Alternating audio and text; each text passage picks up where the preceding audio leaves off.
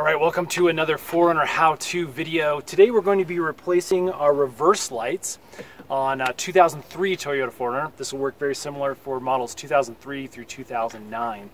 Basically, you don't need any tools, just your replacement bulbs. I'll get a close-up shot of these guys. This is the brand that I uh, suggest as well as the model number. Make sure you got that correct. I'll put a link in the description box below where you can check it out on Amazon. And if you type in your car, it'll actually make sure you do have the correct bulb. Uh, yeah, let's go ahead and, uh, and take a peek and get started at this guy. Okay, in order to get to our reverse light, we're to have to come around here to the back side of the housing. And there's a little panel right here that you can just pull open. And uh, once you basically have that open, it gives us access to all of our uh, tail lights.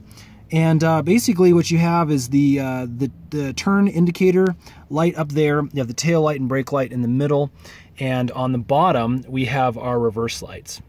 So in order to get out the, uh, the reverse bulb, all we need to do is reach down in there, grab those two tabs that are kind of sticking up down there, and we're going to turn counterclockwise about 15 degrees.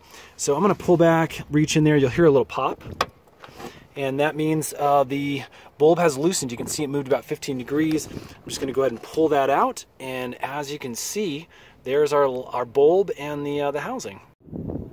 Okay, there's our bulb and the housing.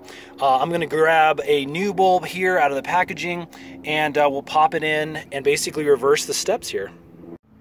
Okay, we've got our new bulb in. Again, I highly suggest rubbing this down with a, uh, a rag or a cloth just to make sure you get your finger uh, oils off of there.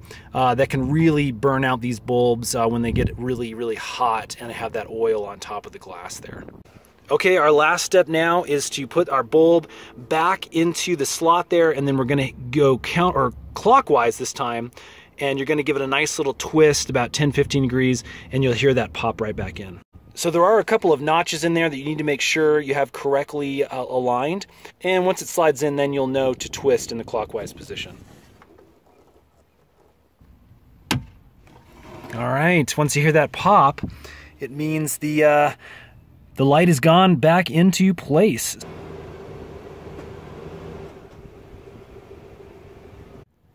All right, now that the bulb is in fact working and in place, I'm just gonna pop this little piece back in and and there we go.